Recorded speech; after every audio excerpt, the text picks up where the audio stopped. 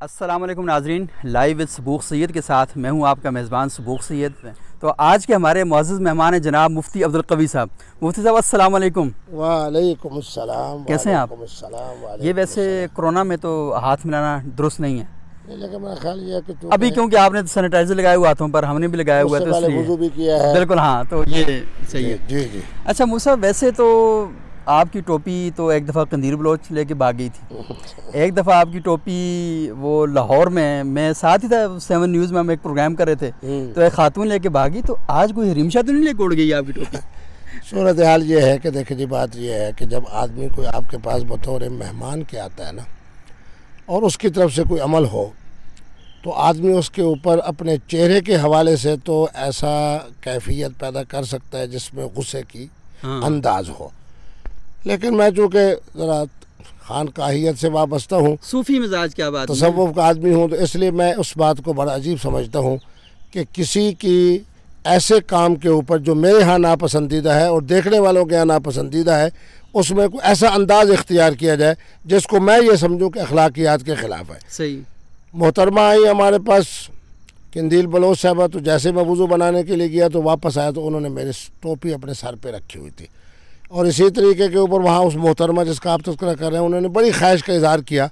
तो मैंने उनसे मजाहन कहा मैंने कहा कि मैं टोपी तो आपको नहीं दे सकता अलबत् अगर कहें तो मैं आपको दुपट्टा पेश कर देता हूँ। सही। आज जब आपने रबता फरमाया तो उस वक्त बहरहाल मैं जब रवाना हुआ तो मेरी टोपी भी और मेरी ऐनक भी दोनों जो है वो मेरे उस कमरे में रह गए। तो मैंने कहा कि आज ऐसा एक नया अंदाज इख्तियार करें ताकि लोगों को पता चले कि मुफ्ती साहब उस रंग में भी नज़र आते हैं और इस रंग में भी नज़र आते हैं। लेकिन मुफ्ती साहब पर ज़्यादा जो रंग चढ़ा वो चिश्ती रंग है। अलहमदिल्ला मेरी असल में ख्वाहिश ये होती है कि हर वो शख्स और हर मोहतरम और हर वो मोहतरमा जो भी किसी तरह का जायज़ मेरे सामने मुतालबा रखे तो उसके में उसकी खुशी भी हो तो उसमें मैं कोशिश करता हूँ कि मेरी तरफ़ से इनकार ना हो। तो लोग कहते हैं कि मुफ्ती अब्दुल कवी साहब आलम नहीं हैं। और मुफ्ती अब्दुल कवी साहब ने अपने नाम के साथ वैसे ही मुफ्ती लगाया हुआ है, ये असलन मुफ्ती नहीं है। तो आज थोड़ा सा लोगों को बताएँ कि आपकी दीनी तालीम कहाँ से आपने हासिल की और आपका जो मजहबी पस मंज़र है वो क्या है और आपके जो मजहबी रुझानात हैं वो क्या हैं और ये जो आजकल आप कर रहे हैं, ये क्या है? देखिए जी सूरत हाल ये है कि हर आदमी को ये बात मालूम है कि मेरा ताल्लुक़ एक ऐसे इलमी और फ़िकी ख़ानदान से है कि जहाँ मैंने इब्तदाई तालीम हासिल की, सबसे पहले हिफ्ज़ कुरान की नेमत अल्लाह ने मुझे अता फरमाई। फाजिल परशन जब मैंने से किया आपने? मैंने अपने इदारे में अच्छा। दारुल उलूम और ख़ानकाह उबैदिया। माशाल्लाह वो एक ऐसा इल्मी और रूहानी और फ़िकी मरकज़ है जहाँ इब्तदाई तौर पर हिफ्ज़ कुरान की नेमत मेरे ख़ानदान वो है कि जिसमें हर लड़का और हर लड़की अल्हम्दुलिल्लाह हाफिज़ कुरान है। अच्छा। इस माह रमज़ान मुबारक के अंदर कोरोना वायरस की वजह से नहीं वैसे भी हर साल हमारे यहाँ हर घर के अंदर कुरान मजीद पढ़ने नमाज़ तरावी का अहतमाम कहीं ख़वातीन का कहीं मर्दों का इसी तरीके पे हर घर के अंदर जनाब इस तरह के अहतमाम होता है। सही। फिर उसके बाद मैंने फाजिल फारसी का जब इम्तिहान दिया तो मुल्तान बोर्ड में तो उस वक्त मेरी उम्र थी चौदह साल। अच्छा। तो मुझे मालूम है कि उस ज़माने में गवर्नर साहब की एक खसूसी इजाज़त पर मुझे फाजिल फारसी के इम्तिहान देने की इजाज़त दी गई। क्योंकि फाजिल फारसी का माना है इक्वल टू एफ़ ए उन्होंने कहा कि एक बच्चा चौदह साल की उम्र का है तो कैसे हम इसको इजाज़त दे दें जबकि हमारे कानून में लिखा हुआ है कि कम अज़ कम अट्ठारह साल उम्र हो। अल्हम्दुलिल्लाह मैंने फाजिल फारसी की फिर चार पाँच साल अपने दारूम में पढ़ा फिर कासलूम में रहा खैरमदारस में रहा और विफाकमदारस के इम्तिहान के अंदर अल्लाह ने मुझे इस कदर एजाज़ दिया कि सारे पर्चे मैंने अरबी में लिखे। अच्छा। इसलिए विफाकुल मदारस के अंदर जो है वो मेरी पोजीशन जो है वो दूसरे नंबर पे थी पूरे पाकिस्तान पूरे पाकिस्तान में? अच्छा। फिर जो मुझे अल्लाह ने मदारसुल अरबिया देवबंदियों वाला जो देवबंद हजरात का अच्छा। देवबंद हजरात का। और इसी तरीके के ऊपर जनाब फिर हुआ ये कि मैंने मिफ्ताह के नाम से जो किताब लिखी अलहमदिल्ला उसका बंगाली में तर्जमा हो चुका है फ़ारसी में हो चुका है पश्तो में हो चुका है। ऐसी दीनी किताब दरसी किताब जो सबसे ज़्यादा छपती है वो अलहमदिल्ला मैं तालब इल्म की किताब है मिफ्ताह नजा सही। मिफ्ताह नजा मुगलक़ात सुनन वस्या फिर आज के ज़माने के अंदर मैंने अल्हम्दुलिल्लाह इस्लामी अदालत इंसाफ, जब मैं मदीना यूनिवर्सिटी में गया और वहाँ से जाके मैंने काजी कोर्स किया तो वापसी पर उन्नीस सौ नड़िनवे में अल्हम्दुलिल्लाह मैंने इस्लामी अदालत इंसाफ के नाम से सिलसिला शुरू किया। तीन रिसाले अब तक अल्हम्दुलिल्लाह हजरात अहल फतवा के लिए, उमूमी अफराद के लिए नहीं, कि कैफियत जिनमें तलाक वाक़ नहीं होती। बहुत सारे अकाबिर ने मुझे हिंदुस्तान के अकाबिर ने कहा कि आपने वो काम कर दिया है कि मुफ्ती आने कराम के लिए आपने बहुत बड़ी आसानी पैदा कर दी आपने अच्छा। हलाले का दरवाज़ा बंद कर दिया है और अहल तशैय और अहल नहीं, तो ये हलाले का दरवाज़ा बंद करके आपने उलमा के लिए सहूलत पैदा की मुश्किल पैदा की? नहीं मैंने अहल फतवा को एक दावत दी। सही। मैंने कहा कमियात पे लड़ने की बजाय अहल हदीस हजरात कहते हैं जी वन टू थ्री की बजाय एक ही तलाक। सही। हम अहल सुन्नत के यहाँ वही बात है जो फारूक आज़म के ज़माने से है।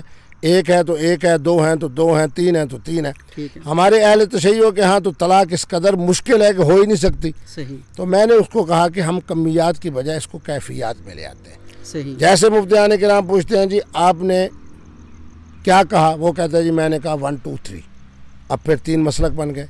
मैंने कहा एक और सवाल कर लिया जाए कि क्यों कहा? रीज़न क्या है? सही। तो जब रीज़न के अंदर आएँगे तो हुजूर का फरमान है कि मकलूब अकल की तलाक नहीं होती, मातू की नहीं होती, मदहोश की नहीं होती, नाइम की नहीं होती, मुकमा अलह की नहीं होती। साहिब हिदाया ने लिखा कि साहिब उस शुक्रान जो नशे की हालत में, उसकी तलाक वाकई नहीं होती। तो माना यह है कि अल्लाह रब्बुल ने ये एजाज़ मुझे अता फरमाया। अच्छा मुझे ये आपने बात बड़ी अच्छी की कि जो नशे में हो उसकी तलाक भी नहीं होती। अब नशे की मकदार कितनी परसेंटेज हो नशे की कि उसमें तलाक हो जाती है और देखें इसमें मैं चूँकि एक मेरा तहकीकी मिजाज है सही।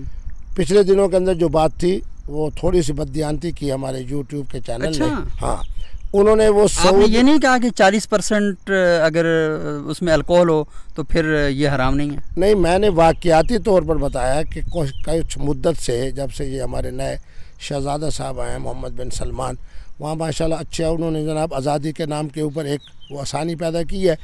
तो उन्होंने कहा कि जी यहाँ बहुत सारे मशरूबात ऐसे हैं जिसमें लिखा हुआ है हलाल। सही। मैंने कहा इसकी तहकीक की जाए। जब इसकी तहकीक की गई तो दो चीज़ें सामने आई। एक ये आया कि कुछ सऊदी अरब के अहल फतवा ने कहा है कि अगर अल्कोहल 40 फ़ीसद से कम हो तो वो मशरूब हलाल है। ये मैंने वाक़याती तौर पर बताया कि मुझे वहाँ से बताया गया कि सऊदी अरब के कुछ अहल फतवा ने कहा। उन्होंने सारी बात को हज़फ करके मेरा ये जुमला सुना दिया कि जिसमें चालीस फ़ीसद से कम अल्कोहल हो, वो हलाल है। वो मेरी बात नहीं थी, वो तो मैं वाक़याती तौर पर बता रहा था कि सऊदी अरब से मुझे बताया गया कि कुछ अहल फतवा ने यह फतवा दिया। दूसरी ये यानी बात आपकी ये राय नहीं है कि 40 परसेंट से ज़्यादा हो तो हराम है उससे कम हो तो हलाल है ये आपकी ज़ाती राय नहीं है? नहीं नहीं देखे ना जी मैं तो वो बात करूँगा ना जो कुरान और सुन्नत के मुताबिक हो। तो कुरान और सुन्नत के मुताबिक क्या है? कुरान और सुन्नत के मुताबिक तो वही है कि एक है खामर हम्म, और एक है नशा आवर मशरूब या नशा आवर चीज़। तो नशा आवर चीज़ के बारे में भी यही है कि वो हराम है। और खामर के बारे में भी यही है कि वो हराम है। सही। मुझे किसने ये इख्तियार दिया है कि मैं हूँ तो हदीस का और फ़िका का तालब इल्म और मैं ये कह दूँ जी चालीस फ़ीसद और तीस फ़ीसद और बीस फ़ीसद और पचास फ़ीसद। ये तो वो बात होगी जो इज्तिहादी तौर पर भी गलत कुरान और सुन्नत के तनाजुर में भी गलत। ये तो सऊदी अरब के कुछ अहल फतवा की तरफ़ से मुझे बताया गया कि उन्होंने ये बात की है। सही। तो उस यूट्यूब वाले ने पूरी बात को हज़म करके ये मेरा जुमला सुना दिया कि जी अल्कोहल जो है वो अगर चालीस फ़ीसद से कम हो तो वो हलाल है। ये मेरा फतवा नहीं था। ये मैं सऊदी अरब के चंद अहल फतवा की तरफ़ से जो बात मेरे सामने आई मैंने उसको वाक़याती तौर पे बताई। अच्छा वो सब ये थोड़ा सा बताएँ ये तो इसी बात को क्योंकि इसमें बहुत ज़्यादा कन्फ्यूज़न पाई जाती है। कई उलमा के बारे में मैंने ये सुना है कि वो ये कहते हैं कि तशैय के यहाँ तो मुकम्मल तौर पर शराब हराम है। लेकिन जो अहनाफ हैं उनके यहाँ खजूर की जौ की और गंदम की ये हराम है लेकिन बाकी जो हैं उनके उसकी इजाज़त है। क्या ऐसी कोई बात है? और थोड़ा सा ये क्लियर कर दें कि अहनाफ के यहाँ शराब की हरमत के बारे में शराब हराम है इसके बारे में मुस्तंद राय क्या पाई जाती है? देखिए जी हमारे जो हज़रत अहनाफ हैं ना अल्लाह ने इनको बड़ी हिकमत और दिरायत अता फरमाई है। हमारे हज़रत इसके बारे में मैं एक जुमला हमेशा कहता हूँ ये भी मुझे फ़िकी ज़ौक़ से हासिल हुआ। वो ये है कि एक है शरीयत और एक है सुन्नत। सही।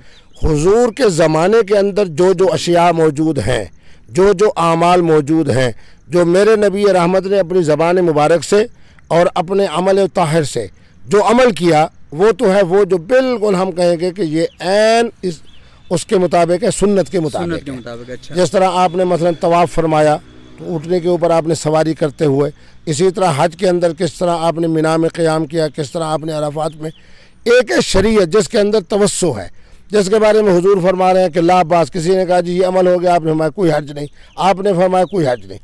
अब एक जो खमर है खमर के बारे में हमारे हज़रत आफनाफ ने बड़ी अकल और हमत और दिरायत की बात की। हुजूर के ज़माने में जो मशरूब तैयार होता था वो किन अशिया से होता था किन फलों से होता था उसको वो खमर के ज़िम्मर में ले आए। उसके अलावा जो मशरूबात हैं उनको वो मुस्कर यानी नशावर मशरूब के उस लाइन में ले आए। अब यकीनन जो खमर है उसके अहकाम और हैं। जो मुस्कर है नशा आवर है उसका अहकाम और है। तो तो बहरहाल उसके अंदर वो शरीयत और सुन्नत के अंदर जो फ़र्क है ना उसी तनाजुर में हमारे हज़रत अहनाफ ने बात की। बाकी ये बुनियादी बात है कि जो भी चीज़ नशा आवर होगी वो क्या होगी? हराम होगी। अलबत्ता- नशा आवर चीज़ हराम है या नशा होना हराम है? नहीं उसके अंदर फिर वही फ़र्क आ जाता है ना कि खामर तो वो है कि कलील हो व कसीर हो हरामन सही। एक कतरा भी हराम है ज़्यादा भी। सही। लेकिन जो नशा आवर अशिया हैं उनके बारे में यह है कि अगर उनका खुमार इंसानी अकल पर गलबा इख्तियार करता है तो उस सूरत के अंदर वो हराम है। जिस तरह मैं इसकी मिसाल दे देता हूँ। अब हमारे जितने कराची के ओलमा हैं वो तंबाकू वाला पान खाते हैं। तम्बाकू वाला पान या मीठा पान? नहीं तंबाकू वाला। अच्छा अच्छा। अच्छा तंबाकू वाला पान जब वो मेरा उन हजरात से सबसे ताल्लुक भी है। मीठे पान वालों से भी या सिर्फ़ तम्बाकू ना ना मैं तो तंबाकू वाला खा ही नहीं सकता।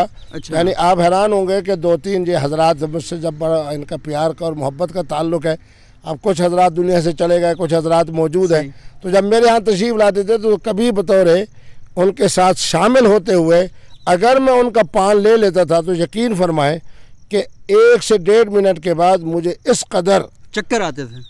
यानी मैं मखलूब अकल हो जाता था और मुझे ऐसे मालूम होता था कि जैसे जनाब मैं गिर जाऊँगा या मेरा दिमाग जो है वो इस तरह घूम रहा है कि अगर मैंने आँखें बंद कर ली तो शायद बचत हो जाएगी और अगर मैंने आँखें खोल रखी तो शायद मैं गिर जाऊँगा। सही। अब ये है कि नहीं ये तो आपने फिर इसकी जगह ये तो तंबाकू वाला पान है तो कभी मीठा पान पिया? नहीं सॉरी मीठा पान कभी खाया आपने? हाँ मीठा पान तो कभी कभी जब दोस्त अहबाब होते हैं कोई अच्छे से खाने के अंदर तो उसके अंदर कोशिश की जाती है कि जनाब कुछ ऐसी चीज़ इस्तेमाल कर लिया जिस तरह लाची है हाँ जिस तरह मीठा पान है इस तरह। सौंफ सपारी होती है। सौ सवारी होती तो अब मेरा जो तालब इलमाना सवाल था वो ये था कि अगर तम्बाकू में नशा है सही। और ये जो तम्बाकू वाला पान है उसकी जो कैफियत मैंने महसूस की मैंने यही कहा कि ये तो वो है कि इसका तो फ़ौरन असर भी अकल पे पड़ता है। और मगलूब अकल यानी अकल सलब हो जाती है अकल हो साल हो जाती है और एक खुबारी कैफियत पैदा हो जाती है। और ख़ुद मैंने इन हजरात से भी सुना कि अगर इन हजरात को एक या दो दिन पान न मिले तो इनकी तबीयत के ऊपर इस कदर बोझ होता है कि इनकी सबसे बड़ी ख्वाहिश ये होती है कि इनको पान मिले। ये भी उन बुज़ुर्गों की बातें मैं सुना रहा हूँ हाँ, जो मैंने अपने कानों से सुना। ये कि मुसब ऐसा तो नहीं हुआ कि जब ये कोरोना वायरस के हवाले से फैसला दे रहे थे तो क्या बताए दो दिन पान ना खाया हो? बहरहाल उस सूरत में जो वो महफिल थी अच्छा। उसकी तरफ़ से जो मुतफ़ा बात आई वो तो बिल्कुल ठीक थी। तो अच्छा हमारे मुफ्ती मुनीबररहमान साहब का बस एक जुमला जो था वो काबिल गिरफ्त था। उन्होंने कहा जी लॉकडाउन का इतलाक जो है वो मसाजिद पर नहीं होगा। सही। तो जिस पर मैंने भी मुख्तलिफ़ हवाले से बात की मैंने कहा ये मुफ्ती साहब का ये काम नहीं है। इस मसले के अंदर हुजूर का फरमान ये है कि हमने जाना है माहरीन फ़न की तरफ़। सही। माहरीन तिब की तरफ़। क्योंकि हुजूर का वाज फरमान है कि अन तुम आलम बे उमूर दुनिया को तो माना यह है कि अगर ये पान जो हमारे हज़रत अहल फतवा हमारे हज़रत शेख हदीस हमारे कराची के मुख्तलिफ़ मकाते में फ़िक्र के उलमा मेरे तो सबसे ताल्लुक़ है। अहल तशैय भी खा मैं भी जानता हूँ बिल्कुल। जी अहल सुन्नत भी हैं। हमारे देवबंद में से भी बहुत सारे हजरात हैं। तो उनकी मुख्तलिफ़ बातें कि उनको किस तरीके में अगर पान न मिले तो उनकी क्या कैफियत हो जाती है तबीयत पर किस तरह बोझ होता है अगर मिलता रहे तो किस कदर उन्हें सुरूर हासिल रहता है। और वो पान मैंने दो तीन दफ़ा ख़ुद तजर्बे के तौर पर खाया तो यकीन करें कि डेढ़ से दो मिनट के बाद मेरी हालत गैर हो चुकी थी। ऐसे महसूस होता था कि जैसे मुझे कै भी आ रही है और मैं ये समझ रहा था कि मेरे दिमाग के अंदर इस तरह घूमते हुए दिमाग की कैफियत थी। अच्छा मुसब एक बात थोड़ी सी रहनुमाई के लिए। मुझे बताइएगा कि जब कोई आलम पान खा लेता है और ये जो दिमाग है, ये घूमना शुरू हो जाता है, उस वक्त अगर कोई साहब उनको फ़ोन करें और कोई दीनी मसला दरियाफ़त करें तो वो जो मगलूब अकल इन्वायरमेंट है उसके अंदर खड़े हुए हैं तो उनके फतवे की हैसियत क्या होगी उस वक्त? नहीं मैंने वैसे महसूस ये किया है कि ये चीज़ इनकी आदत में शामिल हो जाती है। अच्छा। क्योंकि जब इनकी आदत तो आदत में जिसमें आपका शामिल दिमाग चकराया उनका नहीं चकरा नहीं चकरा था क्योंकि मैंने तो एक दफ़ा इस्तेमाल किया फिर छः महीने आठ महीने के बाद फिर तजर्बे के तौर पर दूसरी लेकिन आप ये भी कह रहे हैं ना कि जब उनको कुछ टाइम पान न मिले तो फिर उनकी हालत हाँ हाँ ये तो बिल्कुल हकीकत है बल्कि इन्हीं हजरात के अकाबिर का मैं नाम लिए बगैर उन्होंने मुझे खुद बताया कि मुफ़्त साहब फौरी तौर के ऊपर जो है ना चलते हैं और पान लेके आते हैं क्योंकि जब तक पान नहीं खाएँगे उस वक्त तक तबीयत में बड़ी बेचैनी है। अच्छा। एक बुज़ुर्ग ने ये भी कहा कि मुफ्ती साहब मैंने पान को तर्क करने का इरादा किया लेकिन ख्वाब के अंदर जब मैंने खाया ना तो बड़ा सुरूर हासिल हुआ। फिर मैंने अपना हल्फ तोड़ दिया फिर मैंने दोबारा पान खाना शुरू कर दिया। यानी ख्वाब के अंदर भी पान खाते हैं? ख्वाब उसके अंदर भी खाया जा रहा है। ये वैसे हमने सुना था तारुल कादरी साहब के बारे में कि तारुल कादरी साहब ने कहा कि मैं हालत मनाम में इमाम अबू हनीफ़ा से तालीम हासिल करता रहा हूँ। आज आपने देवबंदी उलमा के बारे में बताया कि वो हालत मनाम में यानी हालत नींद की हालत में ख्वाब में पान खाते हैं। अच्छा वैसे मैं ये भी बताऊँ जब मैं किताब लिख रहा था ना मिफ्ता नजा तो बहुत सारे मसाइल ऐसे थे कि मैं सोचते सोचते सो जाता था तो ख्वाब के अंदर ही अल्लाह तबारक व ताली उस मसले का हल मेरे जहन में डाल देते थे। अच्छा। ये एक हकीकत है कि जब आदमी जिस तस्वुर में होता है सही। तो अल्लाह तबारक व ताली ज़रूर ख्वाब के ज़रिए से उसकी रहनुमाई ज़रूर फरमाते हैं। तो अब मसला इसमें आ जाता है कि अल्कोहल चालीस फ़ीसद हो या बीस फ़ीसद हो ये मेरी बात नहीं है। ये सऊदी अरब के अहल फतवा में से कुछ हजरात की बात आई और मैंने उसे वाक़याती तौर पे बताया। लेकिन यूट्यूब के किसी साथी ने उसको मेरे जुमलों के पीछे वाले कलेमात यानी सियाक व सबाक को तर्क करके उन्होंने ये बात कह दी जिससे कुछ लोगों के जहन में ये बात आई कि शायद ये मुफ्ती अब्दुल कबीर का फतवा है। लेकिन जब उन्होंने तवज्जो से देखा तो हर जगह पर जब उन्हें कट नज़र आया तो वो समझ गए कि ये उनकी बददियानती है ये मुफ्ती अब्दुल कबीर का फतवा नहीं अच्छा साहब ये बात तो आपकी बिल्कुल दुरुस्त है और ये बड़ा अच्छा हुआ क्योंकि मेरे दिमाग में भी कन्फ्यूज़न थी। मैं तो सोच रहा था कि आज आपसे कोई इजाज़त मिल जाएगी लेकिन बहरहाल आपने भी ये तय किया हुआ है कि उम्मत मुस्लिमा के नौजवानों को कभी खुश होने का मौका नहीं देना आपने। लेकिन चलें ये बड़ा अच्छा हो गया ये क्लियर हो गया। अच्छा मुझसे मुझे एक बात ये बताएँ कि अमूमन आपके इर्द गिर्द बड़ा एक खूबसूरत माहौल होता है। तो आपके इर्द गिर्द बड़ी खूबसूरत ख़वातीन होती हैं। और हम जैसे नौजवान जब देखते हैं तो सच्ची बात बहुत तकलीफ़ होती है आपको सब उसका अंदाज़ा नहीं है। और तो बाकी नौजवानों को भी तकलीफ़ हो रही होती है वो इस वजह से आपके ख़िलाफ़ सोशल मीडिया पर बातें भी कर रहे होते हैं। उनका मसला ये नहीं है। तो मुझे बताएँ आपके पास वो क्या गिदड़ सिंगी है कि आपके गिरद तो हर वक्त हाला बना रहता है और हम सब के चेहरे काले के काले रहते हैं वजह ऐसा वजीफ़ा मौजूद है कि जो मोहतरमा उनके सामने आती है उसके हाथ भी मफलूज हो जाते हैं जहन भी उसका मफलूज हो जाता है। फिर मुफ्ती साहब जिस तरह हाथ मुबारक फेरते जाए हर आदमी बिल्कुल वो होके मफलूज होके मुफ्ती साहब के लिए कोई रुकावट भी पैदा नहीं करता। को ये कह रहा हूँ कि अगर हमारे ओलमा का पान हलाल है तो माना ये है कि फिर आपके ये मशरूबात भी हलाल हैं। लेकिन चलें ये बड़ा अच्छा हो गया ये क्लियर हो गया। अच्छा मुझसे मुझे एक बात ये बताएँ कि अमूमन आपके इर्द गिर्द बड़ा एक खूबसूरत माहौल होता है। तो आपके इर्द गिर्द बड़ी खूबसूरत ख़वातीन होती हैं। और हम जैसे नौजवान जब देखते हैं तो सच्ची बात में बहुत तकलीफ़ होती है। आपको सब उसका अंदाज़ा नहीं है। और बाकी नौजवानों को भी तकलीफ़ हो रही होती है। वो इस वजह से आपके ख़िलाफ़ सोशल मीडिया पर बातें भी कर रहे होते हैं। उनका मसला ये नहीं है। तो मुझे बताएँ आपके पास वो क्या गिदड़ सिंगी है कि आपके गिर तो हर वक्त हाला बना रहता है और हम सब के चेहरे काले के काले रहते हैं। वजह क्या आखिर? देखिए जी मेरी बात यह है कि ये सिर्फ़ मुफ्ती अब्दुल कवी की बात नहीं। सही।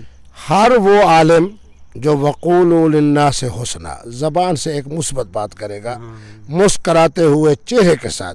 यकीन फरमाएँ कि उम्र के जिस हिस्से में मैं हूँ मैं कह देता हूँ कि इस वक्त चाँद के हवाले से मैं पैंसठ साल का हूँ और सूरज के हवाले से मैं तिरसठ साल का हूँ। ये ये क्या बात हुई? यानी वो चूँकि वो ईसवी साल बड़ा होता है और जनाब हिजरी साल छोटा होता है। तो उस तरह मेरी उम्र पैंसठ साल है हिजरी हवाले से और उस तरह जनाब तिरसठ साल है।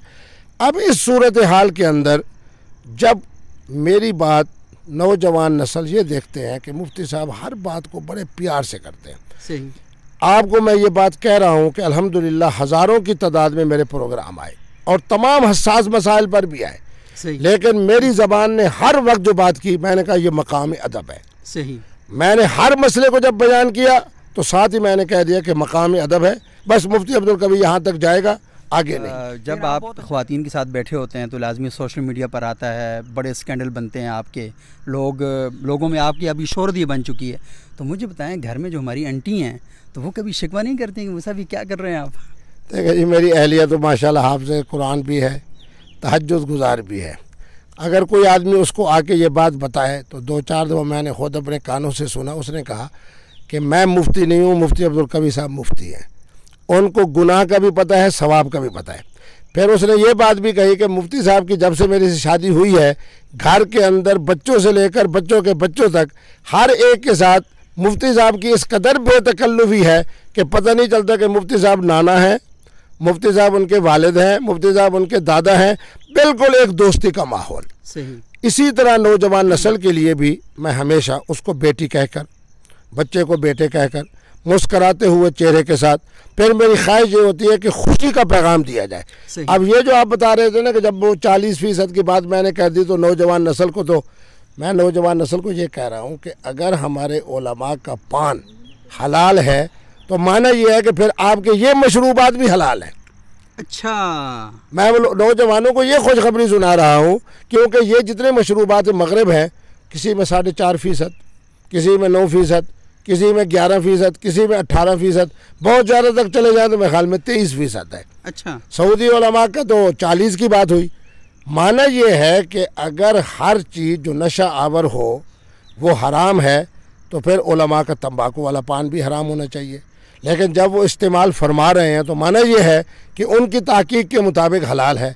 तो माना यह है कि जब नशा आवर चीज़ हलाल है तो फिर नौजवान नस्ल इस बारे में भी ताकीक करे कि कितनी मकदार तक हलाल है और पान खाया जाए तो उस पर दिमागी कैफियत क्या बनती है? और अगर ये मशरूब मगरब पिया जाए तो उस पर दिमागी कैफियत क्या बनती है? अगर उसकी वजह से ज़्यादा से इनके ऊपर असरात मनफी पड़ते हैं तो बरमाना ये हुआ कि वो पान ओलमा की अमल की वजह से हलाल है तो ये मशरूब मगरब भी हलाल तो ये तो बात वही है ना जो यहाँ करो तो हलाल है जो वहाँ करो तो हराम है। हाँ ये बड़ी अजीब सी बात है। मैंने खुद भी ओलमा से पूछा ओलमा की दोनों राय आई। बाद ने कहा जी नहीं जी नहीं नहीं नहीं नहीं नहीं, तम्बाकू के अंदर तो कोई नशा नहीं है। हम्म, बाद हजरात ने तस्लीम भी किया कि उसके अंदर नशा है। लेकिन उन्होंने कहा कि ऐसा नशा नहीं है जिसकी वजह से हम गुफ्तगू अकल के अंदर गलबा कर ले वो। लेकिन मैं मेरे जैसे आदमी आप जैसा आदमी अगर लेता है तो यकीन उस पर खुमार अकल होता है। अच्छा वैसे कुरान मजीद ने जहाँ कहा ना कि ला तकरबुसलात व अन तुम सुकारा हत्ता तक़ूलून। माना ये हुआ कि इल्म और कौल में जब तक एक लिहाज से पुख्तगी रहे उस तक का जो नशे की कैफियत है उसके अंदर इस्लाम भी और कुरान भी थोड़ा सा उसके लिए नरमी का सहूलत अता कर रहा है। लेकिन यहाँ ऐसी कैफियत हो जाए कि ऐसा खुमार अकल हो कि पता ही नहीं कि मैं क्या बात कर रहा हूँ। हम्म, पता ही नहीं कि मेरे लिए कि ये सामने वाली चीज़ क्या है। हलाल और हराम की तमीज़ ही ख़त्म हो जाए। और वो जो एक मशहूर वाक़ मैं नहीं बयान करता चूँकि मैं तो हर अहल सुन्नत और अहल तशैयों के लिए मुस्बत बात करता हूँ कि ला आबोदों की बजाय आबोदो पढ़ा जाए हम्म, तो कितनी बड़ी अजीब सी बात है। तो माना यह है कि इसको ज़रा थोड़ा सा इश्तिहादी तौर पर देख लिया जाए कि तम्बाकू अगर हलाल है तो फिर ये मशरूब मगरब भी एक ख़ास मकदार तक अच्छा हलाल तो, आप तो कोई नशा नहीं करते ना? अल्हम्दुलिल्लाह। किसी किस्म का? किसी किस्म का। सवाए सिर्फ़ तीन दफ़ा पान खाया था आपने। है। हाँ, मीठा पान जो है ना वो तो अल्हम्दुलिल्लाह बहुत सारी शादी और वलीमे के तकरीबात में जाएँ। जब दोस्त अहबाब आए हुए हों तो उस मौके के ऊपर यूँ समझ लें कि महीने के बाद दो महीने के बाद मौका मिल जाता है कि वो फिर पान भी मैं अपने सामने ही उनको कहता हूँ बनाया जाए जिसके अंदर जनाब मीठी मीठी चीज़ें डाली जाएँ और हती कि लाची भी मैं उसमें नहीं डलवाता कि उसकी वजह से भी जायका ख़राब हो जाता है। सही। तो मीठा पान तो इसलिए खा लिया जाता है ताकि मुँह में खुशबू भी रहे और हमारा जो एक निज़ाम निज़ाम है वो भी दुरुस्त रहे। रहे। लेकिन ये जो तम्बाकू वाला पान है ये मेरे जैसा आदमी के लिए नाकाबिल बर्दाश्त है। अच्छा मुफ्ती साहब आपने कंदीर बलोच से भी आपका रबता रहा हरीम शाह से भी आपका रबता रहा और इसके साथ साथ वीना मलिक से भी आपका रबता रहा? तीनों के बारे में राय क्या है? बल्कि आप यूँ कहें कि इन तीन के अलावा और भी बहुत सारी खवातीन से आपका रबता रहा। क्या मतलब क्योंकि मारूफ नाम यही है। अच्छा। देखिए बात यह है कि मोहतरमा वीना मलिक साहबा को तो अल्लाह ने यह एजाज़ बख्शा कि उनका बच्चा माशाल्लाह हाफिज़ कुरान बन चुका है। अच्छा। और माशाल्लाह इस वक्त वो दीनी तालीम हासिल कर रहा है और वो एक घरेलू खातून है और बड़ी माशाल्लाह घरेलू खातून होने के हवाले से बहुत अच्छी ज़िंदगी गुजार रहे हैं। वो जो हमारी मोहतरमा किंदील साहबा थी चूँकि एक देहाती इलाके से और मुल्तान के पसमानदा और वो मुदेरा गाजी खान के पसमानदा इलाके से हम्म, वो बेचारी समझ नहीं सकी कि मुझे किस तरह हम्म, इस्तेमाल करके मुझे किस तरह लोग लेके जा रहे हैं। अच्छा। तो जिसकी वजह से जनाब उस बेचारी की जब हकीकत ये सामने आई हम्म, कि वो तो किंदील बलोच नहीं है वो तो फौजिया है सही और वो बलोच अच्छा। नहीं है वो मारा है हम्म। और उसका फलां खामद है फलां खामद है फलां कोई दर्जी है कोई नई है कोई इस तरह का। तो फिर साथ ही जब उसके इलाके का पता चल गया उसके खामन का पता चल गया उसके कौम का पता चल गया तो उसकी फिर पूरी बिरादरी में एक तरह से गुस्से की कैफियत पैदा हुई। तो जिसकी वजह से उसका हकीकी भाई और उसके साथ उसका कज़न और बाकी जो प्लानर थे उसके भाई उनकी वजह से वो बेचारी अपने अंजाम तक पहुँची। अल्लाह तबारक वाली उसे जवार रहमत में जगह ता फरमाए। हरीम शाह साहब के बारे में मैं चूँकि दीनी मदरसे में पढ़ती रही हैं तो मेरी इनसे जो दो मुलाकातें हुई मैंने महसूस ये किया कि उनके अंदर दीनी पहलू का गलबा है। लेकिन अच्छा। चूँकि अभी बचपना है तो बचपने की वजह से बहुत सारी ऐसी बातें कह बैठती हैं जिसकी वजह से जनाब लोगों का उनके ऊपर मैंने पिछली दफ़ा जब उनको कहा, मैंने यही बात समझाई। मैंने कहा, आपकी शहरत तो हो गई, लेकिन मेरी बेटी अब अपनी इज़्ज़त बनाओ माशरे के अंदर। आप माह रमज़ान के अंदर दीनी प्रोग्राम करें। अल्हम्दुलिल्लाह, अल्लाह का फजल ये हुआ कि अब वो दीनी सोच के साथ इंशाल्लाह ज़िंदगी गुजारेंगी और उनकी तरफ़ से जो बात आएगी, वो दीन वाली होगी। सही। अच्छा ये तो आपने इन तीनों के बारे में बता दिया। तो ये मुझे बताएँ कि एक ख़ातून बीबीसी की कॉरस्पॉन्डेंट थी। उन्होंने आपके ऊपर इल्ज़ाम लगाया कि वो कंदील बलोच के हवाले से आपका मौक़ जानने के लिए जामिया उबैदिया मुल्तान में जब गईं तो आपने उनके चेहरे पर थपकी दी और ज़्यादा कोई मोहब्बत का इजहार किया और उन्होंने कहा कि मुझे मुफ्ती साहब ने हरासा किया देखिए जी, बात यह है कि जिस तरह अब आप तशरीफ़ लेकर आए, माशाल्लाह आप तीन हजरात आए। आप क्या समझते हैं कि जब बीबीसी की टीम मेरे पास आई होगी तो कितने अफराद पर मुश्तमिल होगी? कम से कम तीन चार तो होंगे। एक डाला तो उनके साथ पुलिस वाला होता है। बीबीसी वालों के साथ? बीबीसी वालों के साथ। मेरे पास को उन्नीस टीमें आई। अल जजीरा वाले आए भाई साहब जर्मनी आए भाई साहब अमेरिका आए। उनको तो आपने थपकी नहीं दी थपकी तो इसके मुँह पर दी है ना।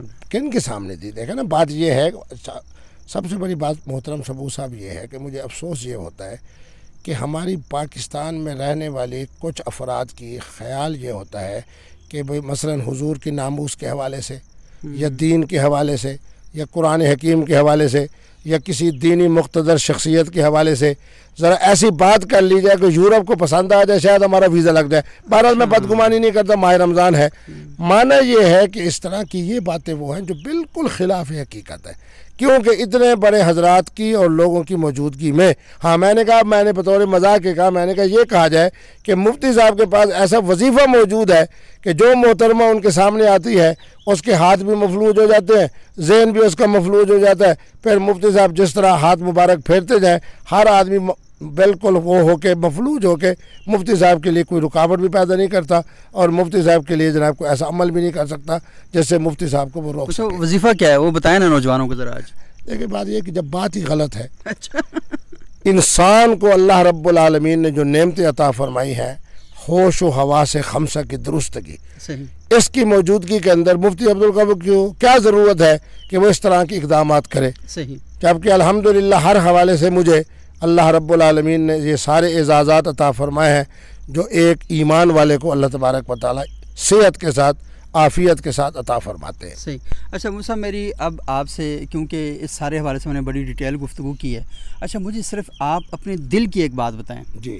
कि आप पॉपुलर तो बहुत ज़्यादा हो गए। सोशल मीडिया पर आगे पीछे बहुत दुनिया में आपका नाम है। तो आपने अभी ख़ुद बताया ज़ीरा वाले भी आपसे इंटरव्यू करने के लिए आते हैं।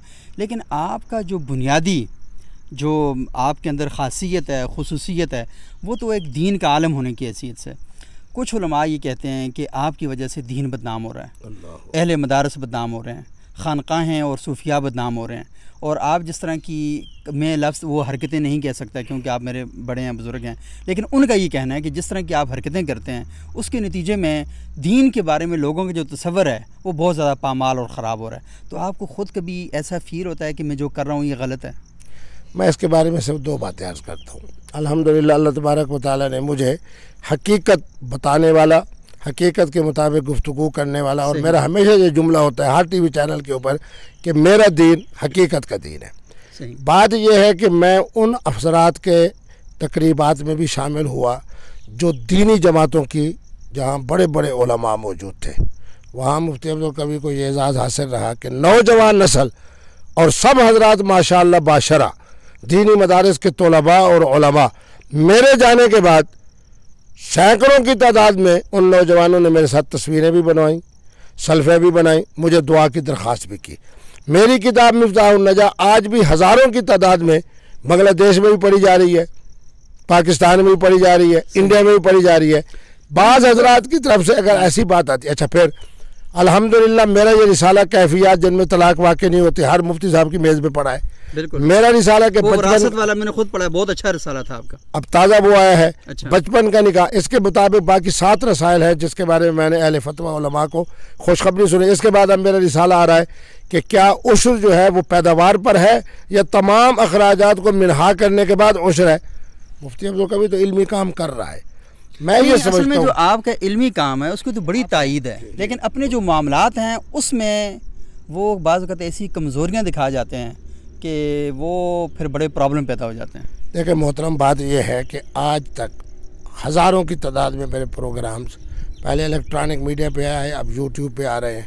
मैं बड़ी ज़रूरत के साथ आपको बहसीत भाई होने के गवाह बनाता हूँ कि कोई एक जुमला बताया जाए जो तोहीद के हवाले से शान रिसालत के हवाले से अज़मत सहाबा के हवाले से अहल बैत के साथ मोहब्बत के हवाले से हज़रत मशाइ और अलिया के साथ अकीदत से एक जुमला मेरा काबिल गिरफ्त हो सही। बाकी मेरे अंदर अगर कमज़ोरी होगी तो ये होगी कि जी वो जनाब अपना आया कोई ख्वाजा सरा उसने मेरे साथ आके सेल्फी बनाई तो उसने को मैंने इजाज़त दे दी। उसके बाद उसने टिक टाक के ज़रिए से पीछे को इंडिया का गाना लगा दिया ये कर दिया वो कर दिया।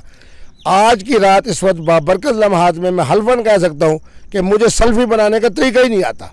सही। आज तक अगर नब्बे हज़ार से ज़्यादा सेल्फियाँ बनी हैं तो मुफ्ती अब्दुल कभी ने आज तक एक सेल्फी भी नहीं बनाई। लेकिन साहब ये बड़ा अजीब काम है ना कि पहले उलमा नबे हज़ार लोगों कलमा पढ़ाते थे आप नबे हज़ार लोगों से सेल्फियाँ बनाते हैं। देखिए जी नब्बे हज़ार सेल्फी का माना यह है कि वो खुश नसीब सेल्फी बनाने के बाद उसके चेहरे पर जो बहार आई। हाँ मैं आपको कहता हूँ मेरे साथ तीन बच्चों ने सेल्फी बनाई दो ने बनाई एक ने बनाई। आप उनके चेहरे की कैफियत देखें कि उनको ऐसे महसूस वो तो मैंने लाहौर में देखा है वो तो बड़ी खुश होती हैं लड़कियाँ आपके साथ। बात यह है कि आप यकीन करेंगे बड़ा सादत का वक्त है। मैं उम्र पर गया लोग एहराम के अंदर और तवाफ़ को तर्क करके देखते थे कि मिजाब रहमत के सामने मुफ्ती अब्दुल कभी बैठा है। बहुत दफ़ा मैंने उनको दस बस्ता कहा मैंने कहा तवाफ़ तो मुकम्मल कर लो। बात यह है कि बहुत सारे हजरात हैं उन्होंने कहा जी अब मुफ्ती साहब आप ठहरें। मैं अपनी बेटी को मैं अपनी बहू को मैं अपने बच्चों को बुला के ले आता हूँ। आपसे दुआ भी करानी है आपके साथ तस्वीर भी बनानी है आपके साथ सेल्फी बात यह है कि मैंने पहले भी कहा कि उम्र के इस हिस्से के अंदर आपकी उम्र कितनी है अभी? मेरी इस वक्त जो है जुलाई के अंदर मैं तिरसठ साल का हो रहा हूँ। सूरज के हवाले से। अच्छा। और चाँद के हवाले से जुलहज में मैं पैंसठ साल का हो लेकिन सुना आपने ये कुछ दो महीने पहले एक नया चाँद चढ़ाया है। किसी नई खातून से आपने शादी की है? देखो जी शादी का माना होता है खुशी। अच्छा। तो इस वक्त हम भी मुस्कुराहट रहे हैं अच्छा। हैं तो इस वक्त का माना तो इस तरह की शादी की आपने? इस तरह की। तो बात ये है कि वो जनाब तो आपने कहा उसमें क्या है कि मोहतरमा खुश है मोहतरमा बड़ी मालदार है। और मुबशर लुकमान साहब जिस गुस्से से और खूनखार नज़रों से आपको उस वक्त देख रहे थे तो मुझे तो बड़ा अजीब सा लगा। बात यह है कि मेरी तबीयत के अंदर चूँकि मज़ा भी है तो उन्होंने कहा कि शादी हुई मैंने कहा हाँ। तो उन्होंने फिर आगे जो बातें की उसके मुताबिक मैं भी उनकी तायद करता रहा। मेरी ख्वाहिश ये होती है कि किसी की बात को ऐसे अंदाज से न लिया जाए कि देखने वाले को या सुनने वाले को या सवाल करने वाले का दिल दुखे। मेरा माना होता है कि उसके साथ इस तरह के मज़ाक के अंदर आप खुश होंगे कि सन उन्नीस सौ सत्तर में एक बहुत बड़े मुहदस हैं जाम अज़हर के उस्ताद हदीस थे। मैं जब उन्नीस सौ बानवे में गया तो उन्होंने मुझे ख़ुद हुजूर के मज़ाह के हवाले से मिन मज़ाह नबुआ के हवाले से दो जिल्दों पर उन्होंने किताब लिख दी है अच्छा। जिसके अंदर हुजूर का हज़रत अजवाज मतहरात से अपने बच्चों से इसी तरह सहाबा से सहाबियात से उनके बच्चों से वो तमाम उन्होंने मज़ाह को जमा किया है जो हुजूर ने हज़रत साहबा और सहाबियात से फरमाया तो मुफ्ती अब्दुल कभी को भी यही समझ लें कि ये हुजूर के मैं उस उसमें पर अमल कर रहा हूँ जिसके अंदर एक खुशी की बात लोगों होती के है। चेहरों पर आप मुस्कुराहटें बिखेरते हैं लोगों को हाँ मेरी खुश कोशिश यही होती है कि जनाब बाकी मैं ये बात आपको हल्फन कहता हूँ आप मेरे भाई हैं कि मैंने आज तक कभी मैली आँख के साथ मैली फ़िक्र के साथ सेल्फी बनाते हुए किसी बच्चे और बच्ची पर मैंने मैली निगाह नहीं डाली। उसको बच्चा समझा है है, उसको बेटा समझा और उसको बेटी समझा है पिछले दिनों के अंदर जैसे आप जैसे दीन वाले हजरात ने बात की तो मैंने कहा कि चलो आज के बाद ख़वातीन के साथ सेल्फी नहीं होगी। अच्छा। आप यकीन करें बहुत सारी मुझे बच्चियों के मुख्तलिफ़ तकरीबात में जब मैं गया तो मैंने कहा बेटियाँ सेल्फी नहीं होगी। तो उनमें से कुछ कहने लगी तस्वीर तो होंगी। तो मैं उस पर खामोश हो गया। तो फिर उसके बाद मैंने कहा चलो तस्वीर हो जाए लेकिन ज़रा मुझसे वक्फे में रहें हाँ। जैसे आप मुझसे खड़े हैं। आप तो वैसे भी मतलब छः मीटर का फासला रखना चाहिए अब। इंशाल्लाह ये तो खात्मा हो रहा है। बहुत जल्दी खात्मा हो जाएगा। इसका माना ये है कि असल चीज़ है कि दिल बदस्ता के दिल- अकबरस्त। हमारे अकाबिर कह के गए हैं बच्चा है बच्ची है जब उनको मैं अपना बेटा और बेटी आपने समझ बहुत रहा बड़ी बात कर दी है कि आपकी कभी मेरी निगाह उन पर नहीं गई मेरा ख्याल है अच्छा मुफ्ती साहब आप तो बड़ी खुशगवार बातें करते हैं और मैंने देखा कि आप बड़े सादा मिजाज आदमी हैं और लेकिन मुझे साहब थोड़ा सा मुझे बताएँ कि बाज़ुलमा के चेहरों पर हर वक्त वो बारह बजे हुए होते हैं परेशान होते हैं मुस्कुराना गुनाह के बिरा समझते हैं और वो किसी की तरफ़ आँख उठाकर देखना भी मतलब बहुत मुश्किल सा हो जाता है। तो ये उलमा की कौन सी किस्म है? बड़ी माजरत के साथ मुझे वल्ला बिल्ला लोग कहते हैं और मुख्तलिफ़ मकातब फ़िक्र के नौजवान कि मुझे अपने इलाके के डीसी से मिलना आसान है और मेरे अपने मकतब फ़िक्र के आलिम से मिलना मुश्किल है। और अल्हम्दुलिल्लाह मैं तो बड़ी खुली किताब की तरह जहाँ मैं बैठता हूँ बहुत बड़ा फाटक बहुत बड़ा कमरा और जो आदमी जिस वक्त आना चाहे हूँ मैं मुल्तान में तो उसके लिए मिलना मेरे लिए बहुत बड़ी आसानी की।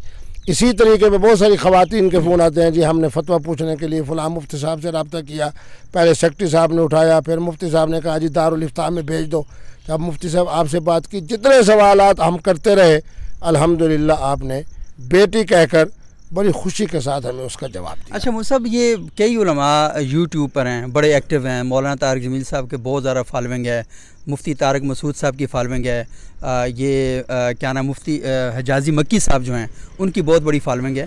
तो आप इतना माशाल्लाह दीन के बारे में गहराई रखते हैं तो आप अपना यूट्यूब चैनल क्यों नहीं बनाते? मुझे बहुत सारे दोस्तों ने कहा और कई सालों से कहा।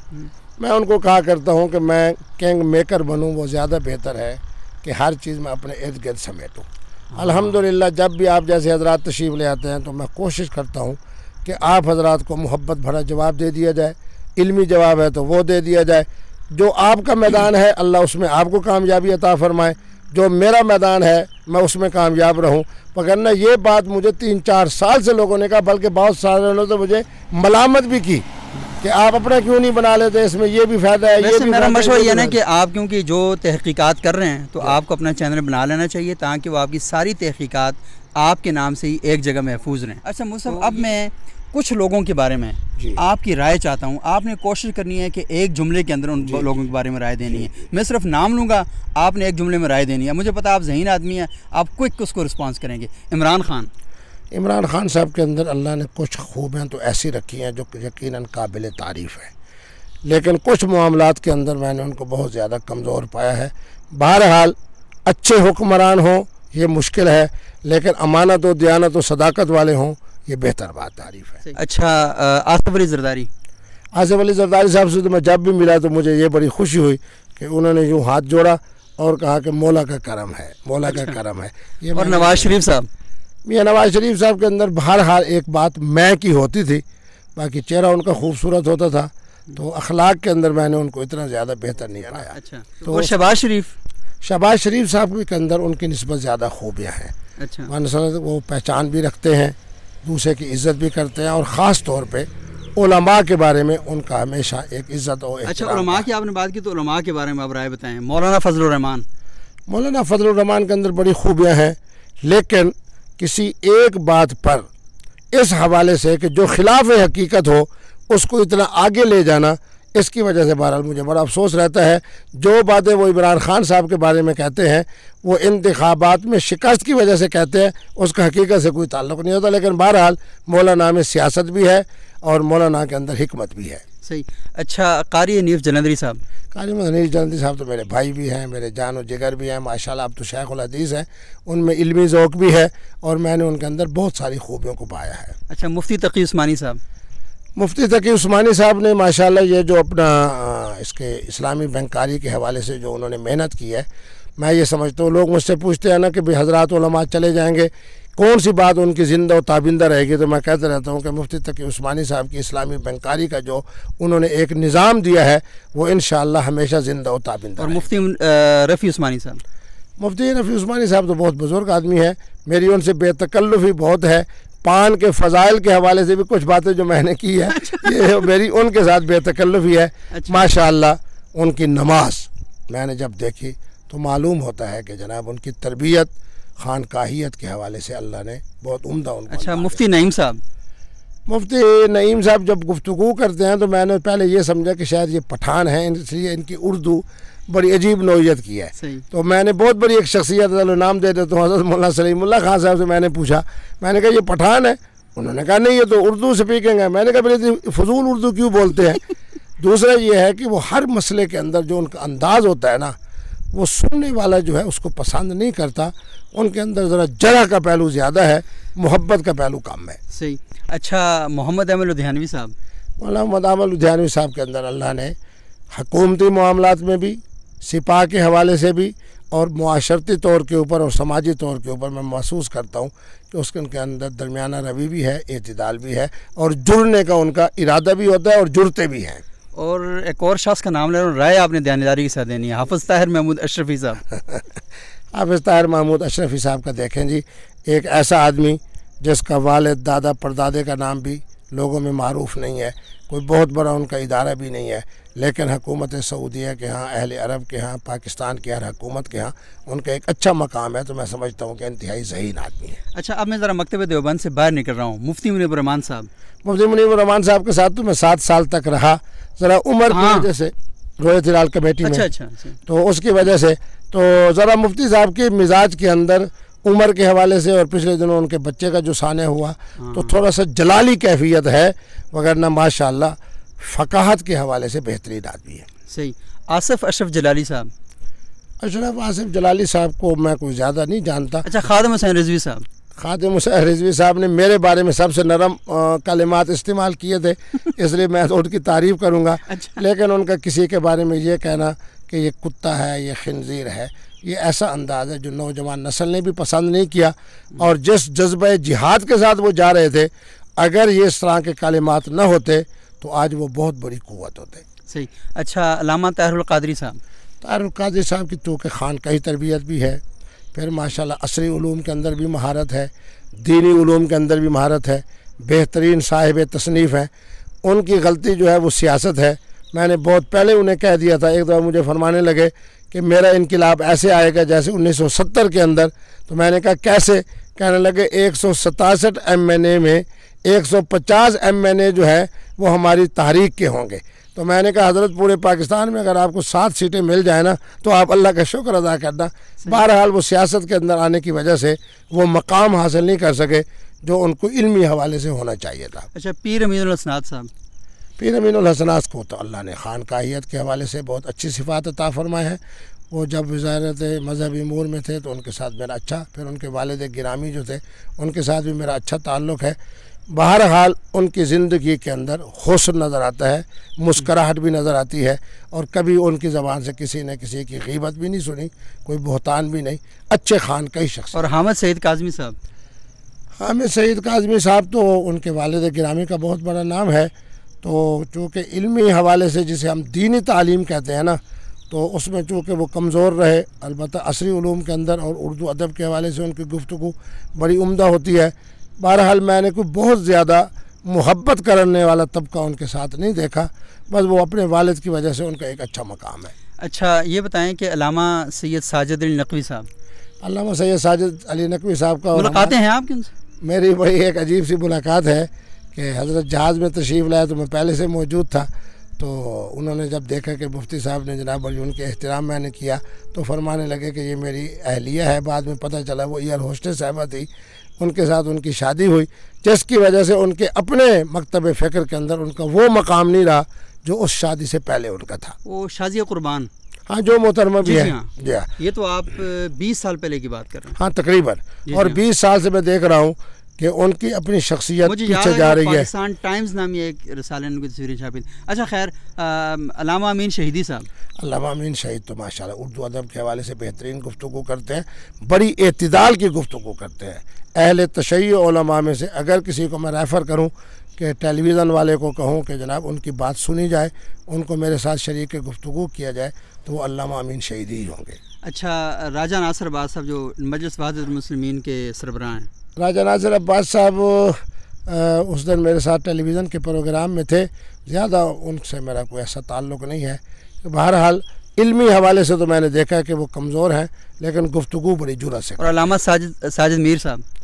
अल्लामा साजिद मीर साहब तो जिस मकतब फ़िक्र से उनका ताल्लुक़ है तो मैं बड़ी माजरत के साथ कहूँगा कि वहाँ हिद्दत और शिद्दत है प्यार और फ़काहत कम है। और इब्तसाम अली जहीर साहब? इब्तसाम अली तो जहीर तो मेरे भतीजे हैं। अक्सर जब हमारा गुफ्तु होती थी इलेक्ट्रॉनिक मीडिया पर तो अल्हम्दुलिल्लाह गुफ्तु वो ज़रा चूँकि तेज़ी से करते हैं तो इसलिए लोग उनको कम सुनते थे। मैं चूँकि अतदाल से करता था आराम से करता था सुकून से करता था लेकिन बहरहाल उन्होंने अपने वाल साहब की जानशीनी को अच्छा संभाला। अच्छा मौलाना राशि साहब। मौलाना राशि साहब के अंदर तो माशा मैं देखता हूँ कि फ़कात भी है दराजत भी है। उर्दू अदब के हवाले से भी ज़रा अपने बेटे की वजह से थोड़ा सा उनके मकतब फ़िक्र जो है उनसे दूर हुआ लेकिन अच्छे अंदाज से उन्होंने टैकल किया। बच्चे को भी अब उन्होंने अपने उसमें दायरा इख्तियार में रखा हुआ है और देवबंद के अंदर भी उनका एक अच्छा मकाम है। और जावेद अहमद गांधी साहब?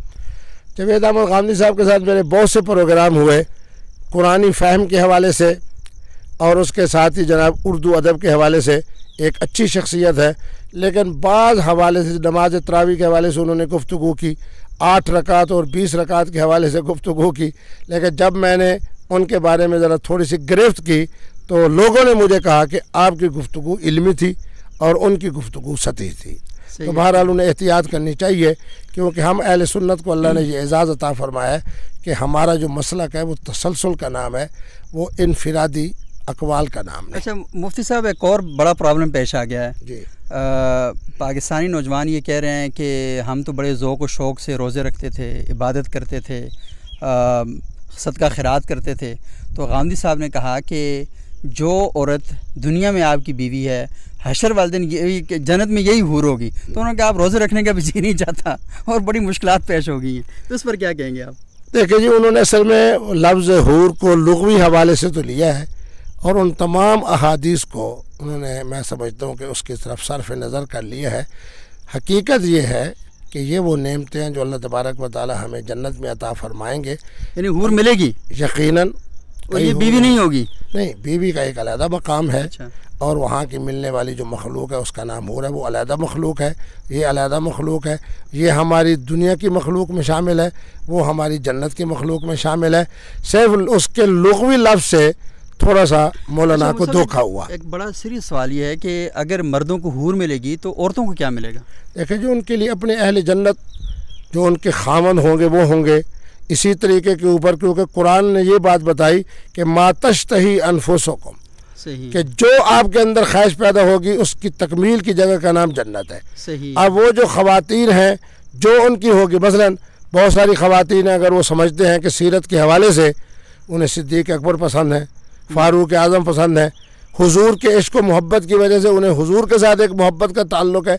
वहाँ ये नफसानी ख्वाहिशात नहीं होंगे। वहाँ सिर्फ़ और सिर्फ़ जो है राहत सुकून लज्जत और कैफियत का नाम जन्नत है। तो उनको भी इस तरह की लज्जतें और कैफियतें मौजूद होंगी जो अल्लाह तबारक वाली उन्हें देंगे। सही। अच्छा मुसब आखिर में आपकी अपने बारे में क्या राय है आजकल? मैं तो यही समझ रहा हूँ कि मुझे अब हर तीन चार महीने के बाद कोई इल्मी और तहकीकी रिसाला उलमा की खिदमत में पेश करना चाहिए। ख़वान के साथ जो सल्फ़ियों का मामला है उसमें एहतियात करनी चाहिए।